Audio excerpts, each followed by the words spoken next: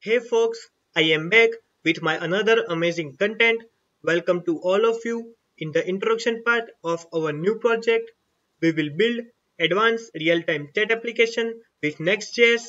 I am super excited because Next.js in this channel is first time. In basics, Next.js is a JavaScript framework that is built on top of React. It allows you to create generic static websites and it also supports server-side rendering. That's why Next.js is very popular right now.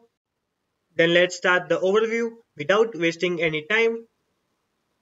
This is the login page of this chat application and here we have to pass email address and password.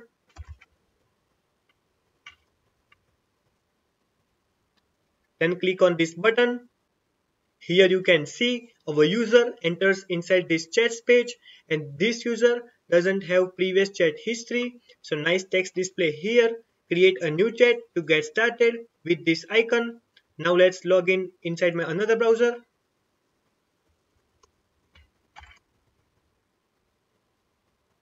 Click on this login button.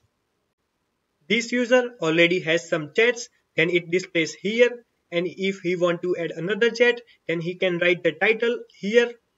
When he go inside this group you can see the chat changes according to group. This group is recently created, so there is no messages yet. Title of the chat displays here. Below that, it suggests when the group is created.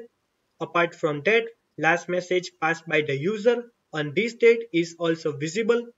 Whenever I hover on this particular message, we can see the time when the message is created. The app also allows the attachment so we add images like this. Whenever I click on these people, you can see the list of users who are inside this group. And if I want to add another user, then I have to write username. And I also delete the users, but this functionality is available to admin only. Here the history of attachment will shows. And if I want to delete this group, then it is also available. Whenever I click on this delete button, the group will be deleted but again, this functionality is for admin only. Earlier, I tell you the chat is real time. So now let's send the message. Here you see this user is typing and whenever I send this message, the mark will automatically change.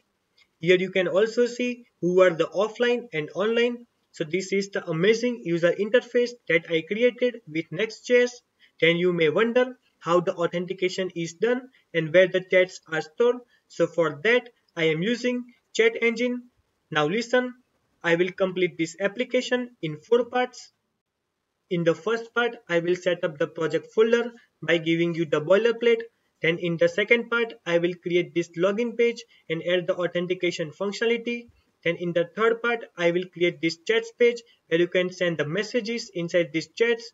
And in the last part, I will deploy this application by Vercel platform so you can share this URL to your friends and do chat with them.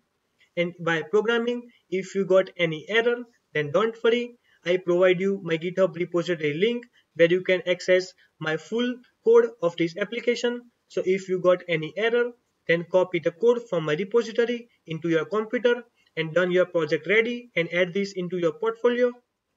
Okay guys, so now the introduction is over and you are ready to jump inside the part 1 video. The part 1 video link is in the description. See you there. Thank you for watching.